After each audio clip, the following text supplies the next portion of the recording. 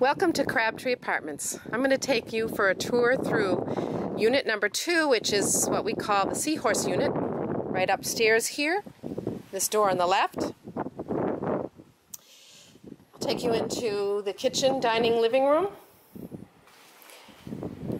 Here's our kitchen. And your dining room, living room area. The beautiful view beyond and the beach is just straight through those stairs, the white handrails onto the beach. Your living room area. Kitchen area. I'm going to take you into the Salina side bedroom. This bedroom has two twin beds, a view of the Salina, and in the wintertime there's always birds poking around in there. They're fun to watch. These two twin beds can be made into a king-size bed for two couples sharing a unit.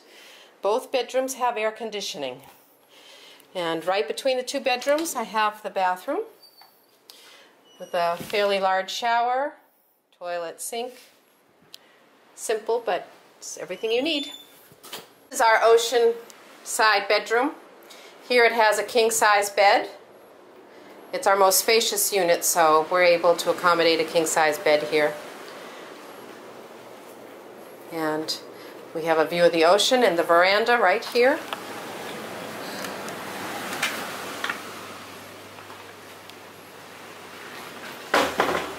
And here's your own private veranda with wicker furniture where you're going to want to spend all your time. It's really comfortable. You have a beautiful view of the ocean. And it can't get any better than that. it's right outside your door.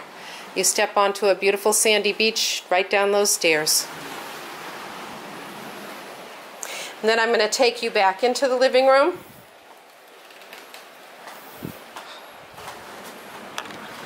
Here.